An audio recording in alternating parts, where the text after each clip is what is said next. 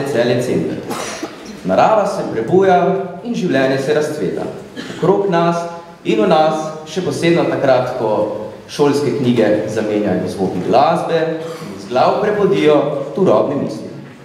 Prav poseben pozdrav velja predstavnici Ministrstva za izobraževanje, šolstvo in šport, gospe Jolandi Bek predstavnikom mestne občine Celje in Celjski mestni četrti, ravnatelju druge gimnazije Maribor, gospodu Ivanu eh, Lorenčiču, ravnateljicam vrt, vrtcev osnovnih in srednjih šol ter predstavnikom fakultet iz Celja in regije.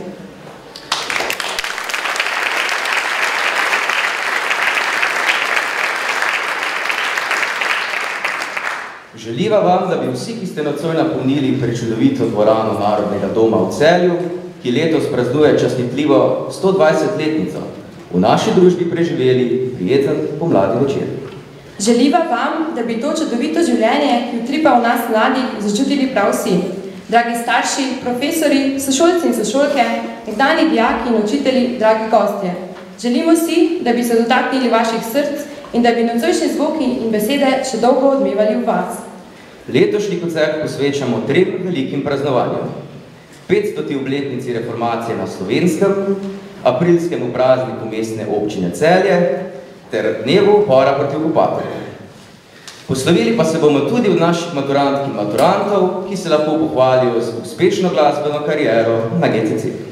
Slovenci moramo biti ponosni na svoje slavne prednike, spominjati se moramo njihovih del in posnemati njihove zglede. Kdor ne časti svojih prednikov, ne zasluži biti njihov naslednik. In Slovenci imamo veliko mož in žena, na katere smo lahko resnično ponosni. Med njimi je prav gotovo Primož Trubar in z njim povezana reformacija, ki je na slovenskem pustila neizbrisan pečat. Zahvaljujoč Trubarju smo dobili prvo tiskano knjigo v slovenskem jeziku, v skupnem jeziku, ki je temeljni povezovalni element vsakega naroda in sestavni del narodne zavesti. S tem dejanjem nas je povezal s takratno Evropo, prebudil narodno zavest svojega ljudstva in naredil prvi drzni korak na dolgi poti narodne, kulturne in politične samostojnosti.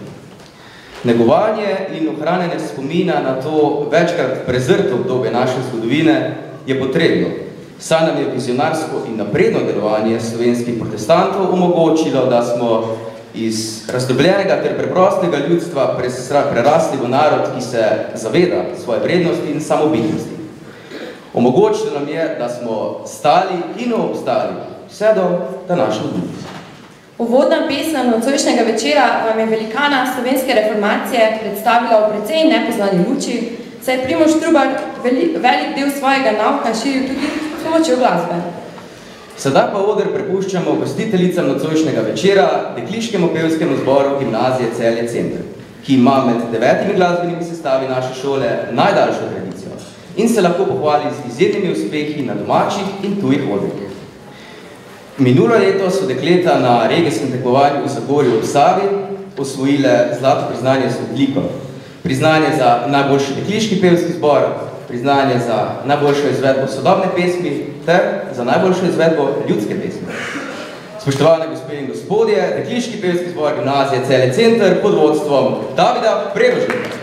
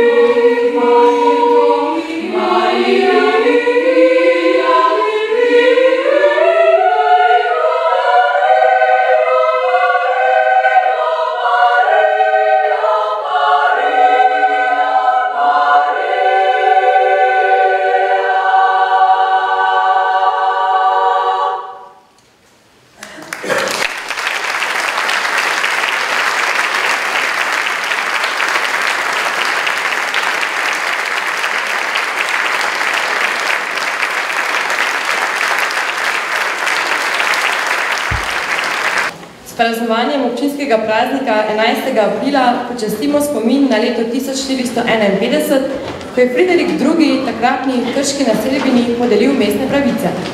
Počastitev praznika v mestu ves mesec potekajo številne prireditve in dogodki.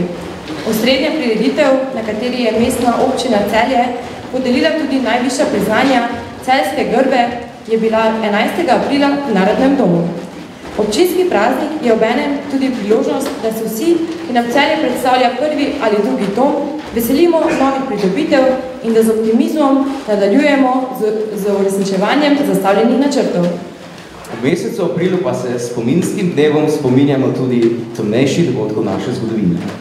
27. aprila 1941 je bila v Ljubljani ustanovljena protiimperialistična fronta, ki se je po nemško napadu 22. junija preimenovala v Osvobodilno fronto slovenskega naroda, v srednjo odporniško organizacijo slovencev v drugi svetovni vojni. Nastala je deset dni zatem, ko je jugoslovanska vojska v Beogradu podpisala vdajo in dobrih 14 dni po okupaciji Slovenije. Dan Evrope, ponekod dan zmage, ki ga sicer praznujemo 9. maja, pa časti zmago zaveznikov nad nacizmom, zmago skupnih idej in združene Evrope. In iz zavezniških vrst slovanskega sveta prihajata tudi naslednji točki nocojšnjega sporeda, ki boste zazveneli z združenimi močmi pevk in pevcev z GCC.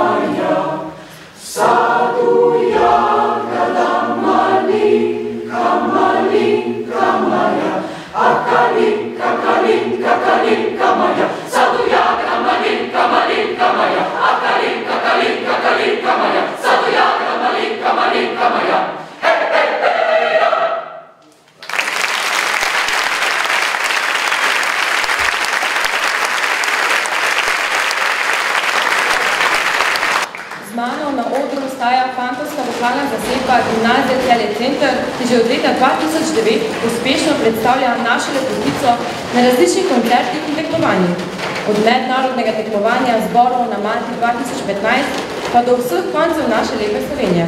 Med drugim so fantje leta, letos skupaj z dekliškim zborom in šlagerci na predvečer slovenskega kulturnega praznika v Trstu izvedli koncert za naše zamejce in tako s pestrim programom tudi še dodatno spodbudili narodno zavest in povdarili pomen klene slovenske besede.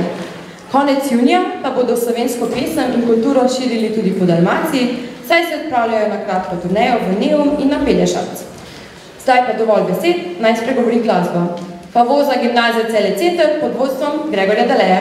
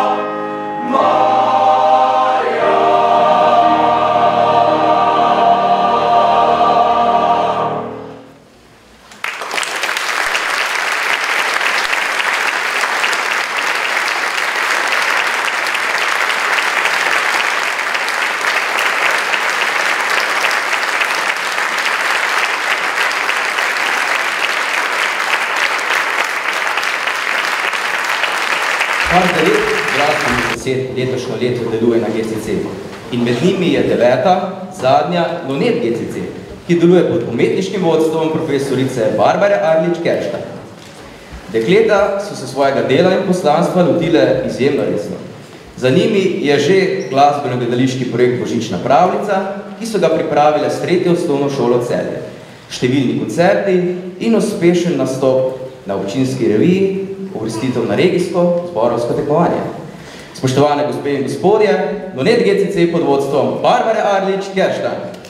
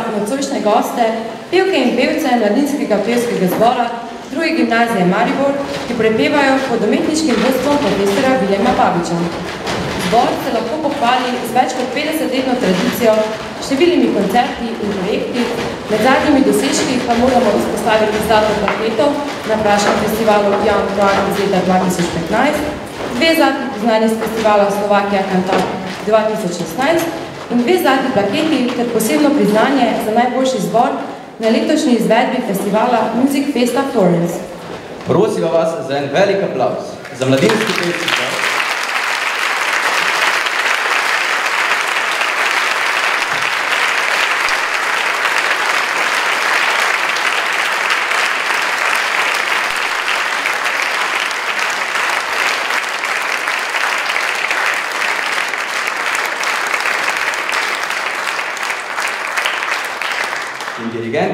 William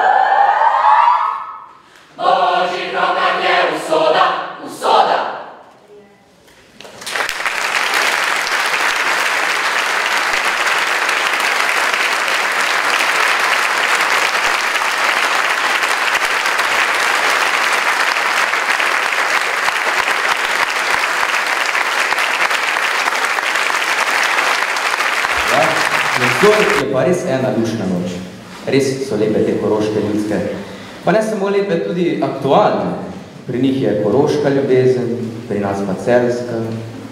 Oh, nekaj je v mojem srcu kar vzdehteva. Dej nekaj, spet igrejo neumnosti po glavi. Pa kakšne neumnosti, če ti ptički pojejo in srce žvrgoli. To pa res niso neumnosti. Daj, zresti se men, da mislim, da so ti pesmi, ki smo jih slišali nocoj, kar malce zmešale glavo. Ja, mlada razposejenost pač dela svoje. Da pa ne bova zdaj koncert spremenila v melodramo, rajši napovejva naslednje nastopajoče. Na odru predstavljava prvo med vsemi inštrumentalnimi zasedbami GCC. legendarne šlagerce, ki že dolga leta krijo popularno funky in jazz glasbeno sceno na šoli. Spoštovane gospe in gospodje, The Schlagers.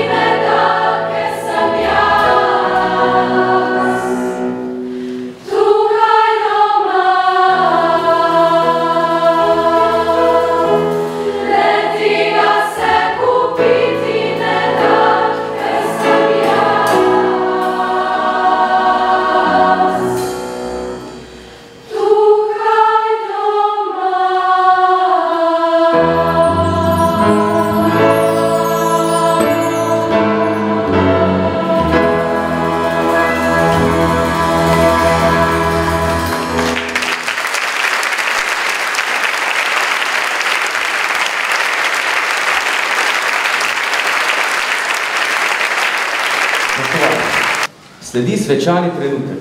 Slovo od maturantk in maturantov, ki bodo z letošnjim šolskim letom zapustili naše glasbene vrste.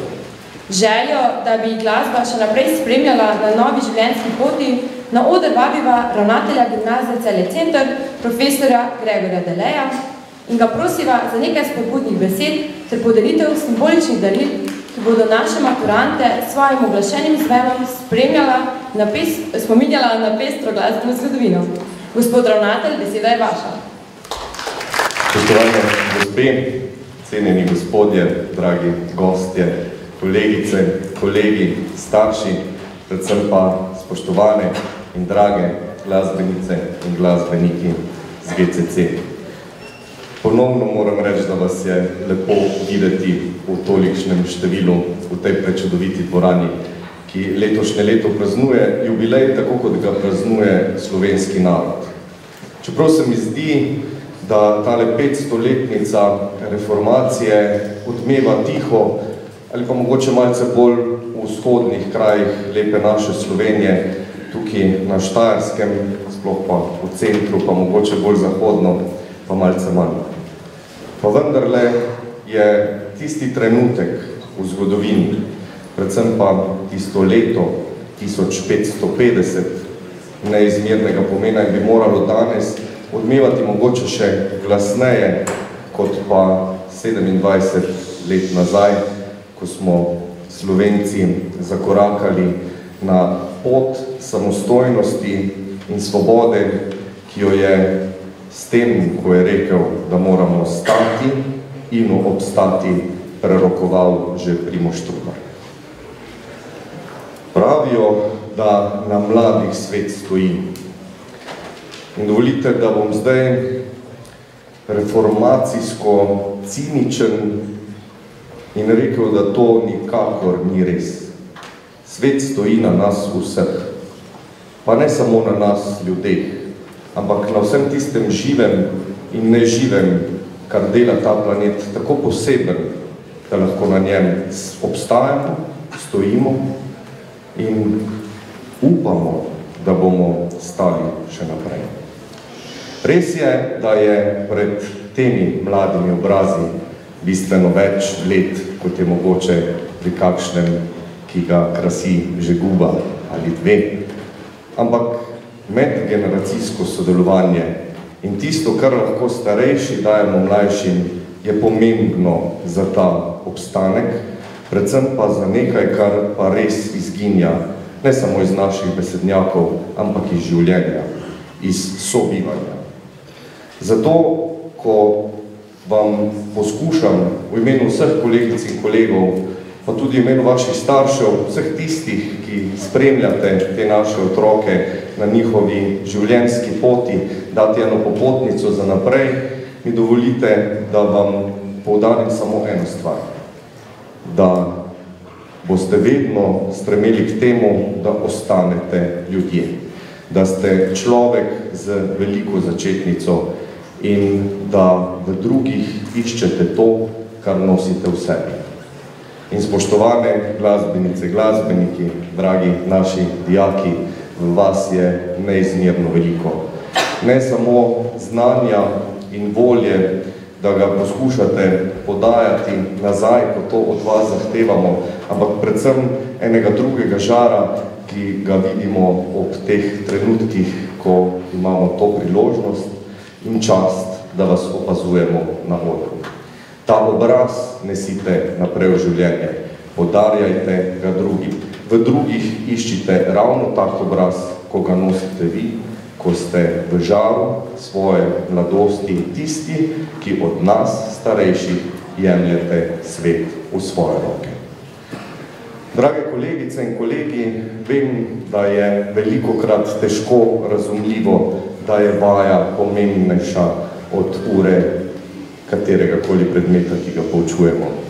Vem, da zmorete in morete veliko potrpljenja, da jim omogočite tisto nekaj, kar, če sem lahko spet reformacijsko ciničen, šolski sistem zelo uspešno ubija v naši mladini in to je ustvarjalnost. Pa ne ustvarjalnost v tem umetniškem smislu, ampak ustvarjalnost v tisti svoji prvinskosti, ko iščemo znanje iz radovednosti, ne pa iz strahu.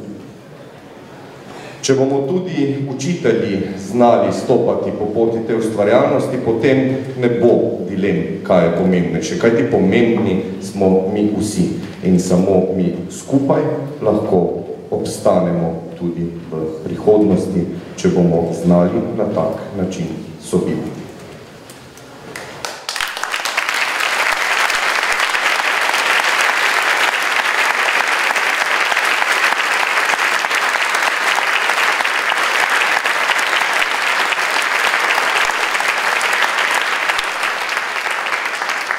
Dragi starši, vem, da tudi vi včasih težko razumete, da je vaja pomembnejša od tistega testa, ki se piše čez dan ali dva.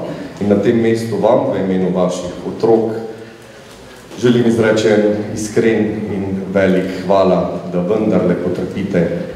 Le poglejte jih, to so vaši otroci in to, da jih omogočate še to vrstno udejstvovanje, jih dela še posebej posebne.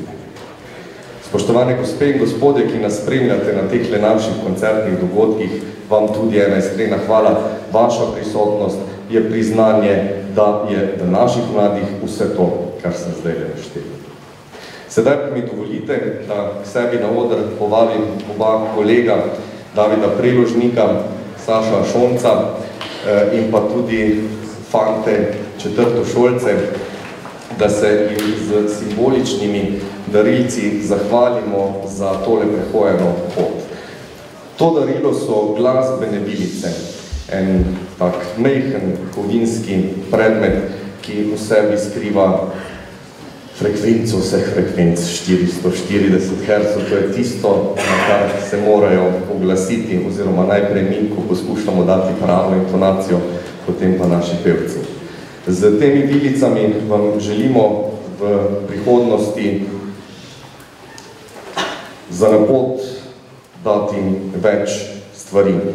Eno seveda, da bodo vaša življenja oglašena, da bodo vaše življenja še naprej tako tesno prepletena glasbo, kot so bila doslej in seveda, da boste znali v majhnih stvareh najti tisto neizmerno zadovoljstvo in srečo, ki vam bo omogočalo, da boste svoje življenja živeli takšni, kot ste zdaj na odru.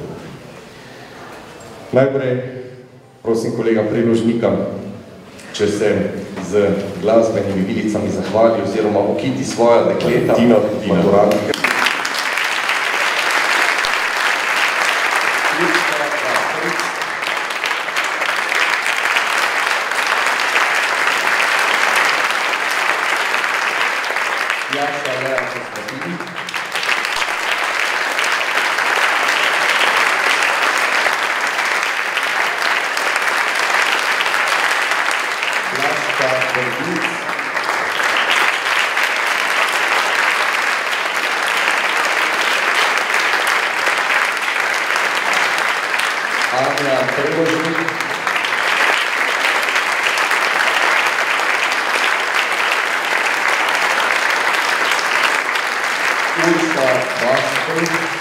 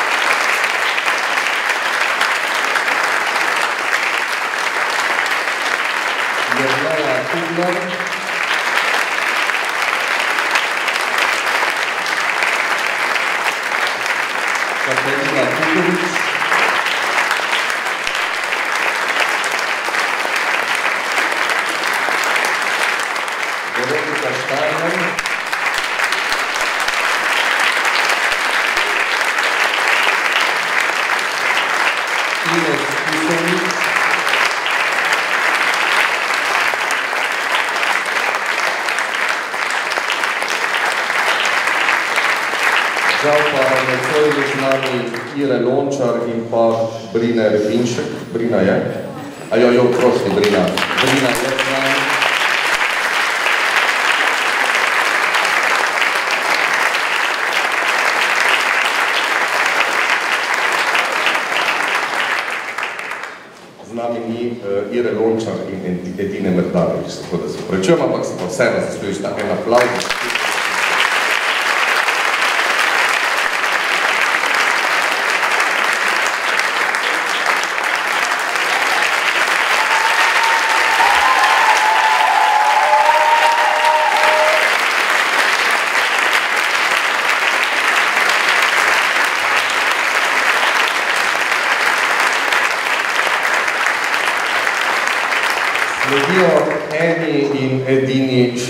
šlagersi, ki spretno skozi instrumentalne podvige krmari profesor Sašo Šonc, ki ga zdaj vabim, da svojim četrtošolkam in četrtošolcem podelim tale simbolična darilca. In sicer so to Anže Završnik,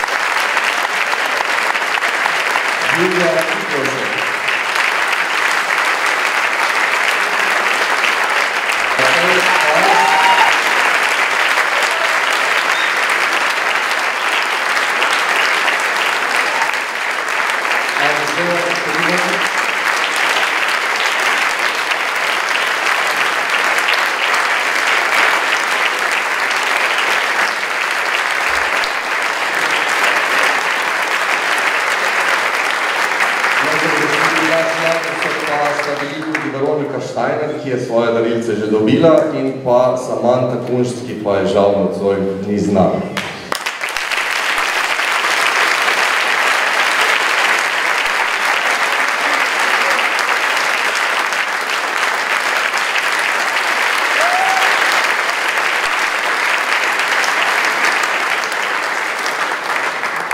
Nazadnje bi se rad iz srca zahvalil še svojim pevcem, ki bom najprej kar poklical tule na oder, da ne bomo preveč eh, komplicirali s to podelitvijo. In sicer so to Matevž Metulj,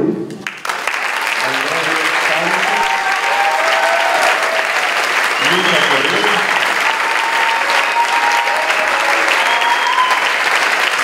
in pa že Primož, ki je svojo življenjsko zgodbo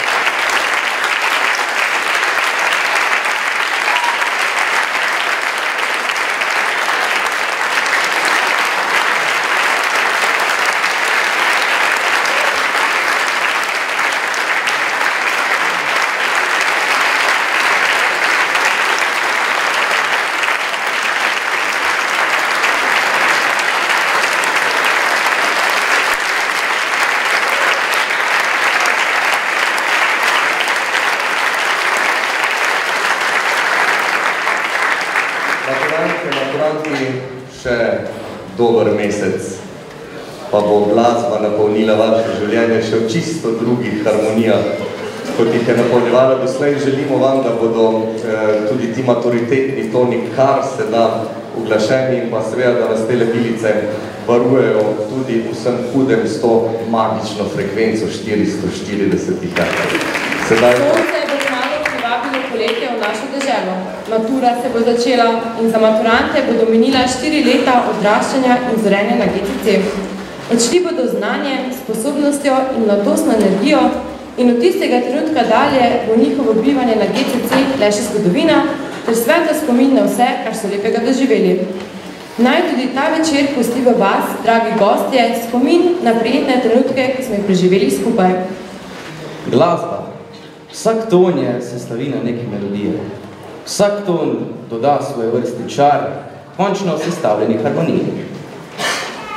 Hvala, ker ste si vzeli čas in preživeli večer z nami. Preden pa se poslovimo, naj se zahvalim pokrovitelju nocojšnjega večera, mestni občini Celje, ter vas povabim na odprtje študijske razstave dijakov umetniške gimnazije Likovne smeri ki bo v četrtek 11. maja ob 18. uri v osrednji knjižnici Celje. Preden pa se dokončno poslovimo, vas vabimo v stransko dvorano na klepet in druženje z nastopajočimi ob priglisku in pijači. Zelo veseli bomo tudi vsakega prostovoljnega prispevka za nas, oboje glasbenike. Podate ga lahko v skrinico, ki jo najdete v predverju dvorane. Želiva vam lep preostanek večera, eno čudovito pomlad, vam, drage maturantke in maturanti, pa čim več uspeha in sreče ob letošnji maturi. Za slovo pa vam podarjamo skupno pesem vseh nastopajočih. Samo za vas, nocoj in tu. V popolni harmoniji glasbe.